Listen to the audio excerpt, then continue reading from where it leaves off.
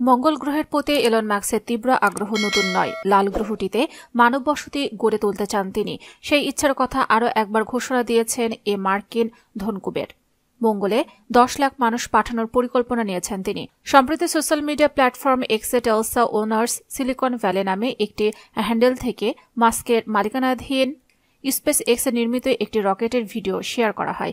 ক্যাপশনে লেখা হয় স্টারশিপ হল এখন পর্যন্ত নির্মিত বৃহত্তম রকেট এবং এটি আমাদের মঙ্গল গ্রহে নিয়ে যাবে। পোস্টটি নিজের হ্যান্ডেলে শেয়ার করেন টেলসা সিও এলন মার্কস। এর সঙ্গে তিনি লেখেন, আমরা মঙ্গল গ্রহে দশ লাখ মানুষ নিয়ে যাওয়ার জন্য একটি গেম প্ল্যান তৈরি করেছি। গত সোমবার আরও একটি পোস্টে মঙ্গল গ্রহ নিয়ে নিজের আগ্রহ প্রকাশ করেন বর্তমান বিশ্বের শীর্ষ ধনী।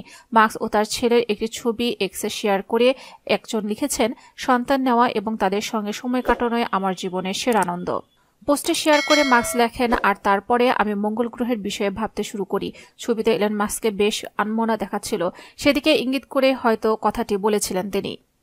এ ধনকবির একাধিকবার বলেছেন তিনি মঙ্গল গ্রহে উপনিবেশ স্থাপন করে মানুষকে বহু গৃহবাসী প্রজাতি বানাতে চান। দু হাজার এগারো সালে তিনি বলেছিলেন, পরবর্তী দশ বছরের মধ্যে অন্তত একজন মানুষকে মঙ্গলে নিয়ে যাবেন। তবে দু হাজার বাইশ সালে মার্কস জানান তিনি মঙ্গলে মানুষ পাঠানোর জন্য নির্ধারিত সময়সীমা পিছিয়ে দিয়েছেন। এক্সের এক পোস্টে স্পেস এক্স প্রধান বলেন, তিনি এখন দু হাজার উনত্রিশ সালকে মঙ্গল গ্রহে মানুষের প্রথম পদচিহ্ন পড়ার বছর হিসেবে দেখতে চান।